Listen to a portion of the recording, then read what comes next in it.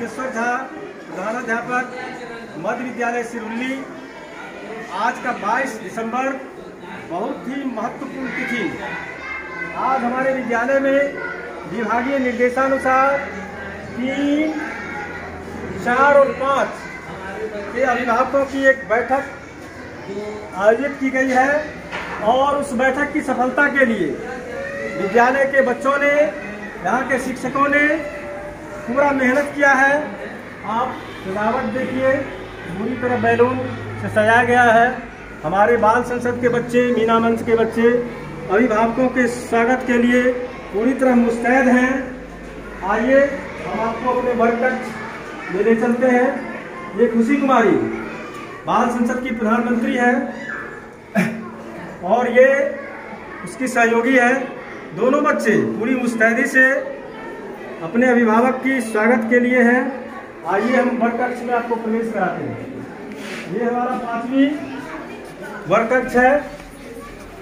Balloon, जगह जगह balloon लगे हुए हैं। सामने आगे से हमारे बच्चे हैं। उसके पीछे अभिभावक है। इस रो में अभिभावक हैं और इधर लड़के हैं। ये टेबल पर जिन सामानों को आप देख रहे हैं, वह हम लोग को विभाग के द्वारा मिला है और इसे टीएलएम, टीचिंग लर्निंग मटेरियल कहते हैं। इनके द्वारा हम बच्चों को बहुत सी बातों की जानकारी देते हैं। गणित इसके द्वारा हमें बच्चों को सिखाते हैं, पर्यावरण सिखाते हैं। जैसे उदाहरण के तौर पर आप ये देखिए। ये एक लीटर का ये है।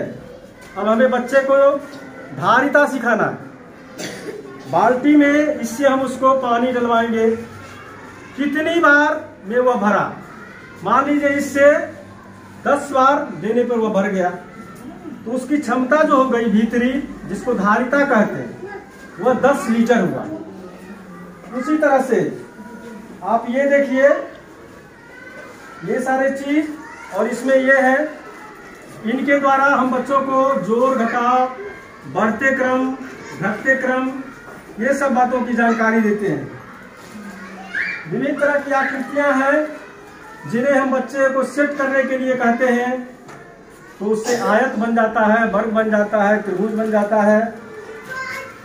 आप ये देखिए, ये जितने भी नोट अभी व्यवहार में चल रहे हैं, ये सारे इसमें हैं। सबसे पहले तो ये बच्चों को पहचानने में मदद करता है। कौन सा नोट कैसा होगा? फिर इसके द्वारा हम बच्चों को भाग, जोड़, ये सब की भी जानकारी देते हैं। ये हमारे सहयोगी शिक्षकगण हैं। अब आपको हम मिलाते हैं इस हमारे वर्ग फाइव के वर्ग शिक्षक श्री जितेंद्र कुमार सर से।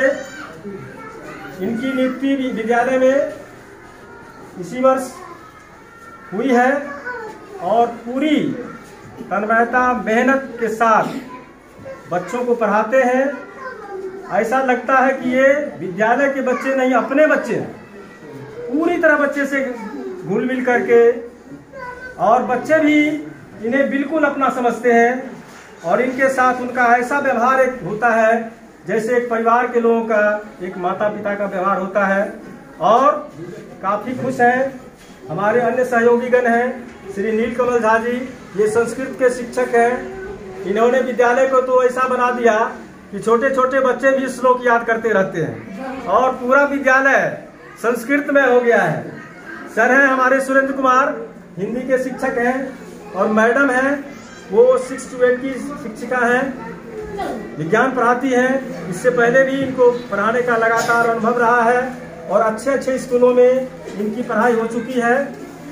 आज का ये बैठक विशेष तौर पे बुलाया गया है। हम पूरे परिवार, विद्यालय परिवार की तरफ़ से, प्रधानाध्यापक की हैसियत से इस बैठक में आप लोगों का स्वागत करते हैं। और जिस उद्देश्य से यह बैठक बुलाया गया है, हमें आशा है आप अपनी बातों को भी हमारे समक्ष रखेंगे, हमारी कमियों को भी उजागर करेंगे, क्योंकि अपनी कमियाँ लोगों को खुद दिखाई नहीं देती। आप हमें बताएँगे कि, सर, यहाँ ये नहीं, ये होना चाहिए। तो और बेहतर होता। और हम सभी मिल करके यदि प्रयास करेंगे तो बहुत अच्छा रिज़ल्ट हो सकता है। ये बच्चे कल के भविष्य हैं।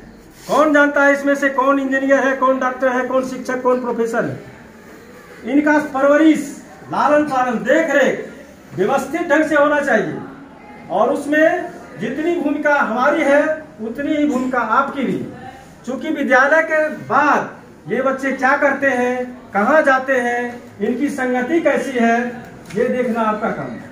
विद्यालय में तो हम सभी इन पर निगरानी रखते ही है, लेकिन उसके बाद आपका विशेष दायित्व है। हमारे बच्चे के पास किताब है कि नहीं है? कॉपी कलम है कि नहीं है? उसके ड्रेस है कि नहीं है? आप घर पे समय ज़रूर दीजिए। रात में पढ़ने के लिए ज़रूर इसे बैठाइए और कहिए कि विद्यालय में आज क्या पढ़ाएगी कॉपी दिखाओ। ताकि बच्चे को ये लगे कि नहीं, हमारे अभिभावक हम पर पूरी तरह ध्यान दे बहुत सारे अभिभावक काम में इतना व्यस्त रहते हैं, कहते हैं, हमें, हमारा छुट्टी नहीं मिलेगी अरे, जो चीज़ आपका मूलधन है, जो आपका भविष्य है, जिसके लिए आप सब कुछ कर रहे हैं, उसके लिए तो समय निकालना पड़ेगा तो इस, ये बैठक उसी के तहत आयोजित की गई है और हमें पूरा विश्वास है कि इस बैठक के बाद निश्चित रूप से हमारे बच्चे और मेहनत के साथ और जागरूकता से आगे बढ़ेंगे। ये हम मंगल कामना करते हैं और इसी के साथ आज की इस बैठक की शुरुआत करते हैं। धन्यवाद।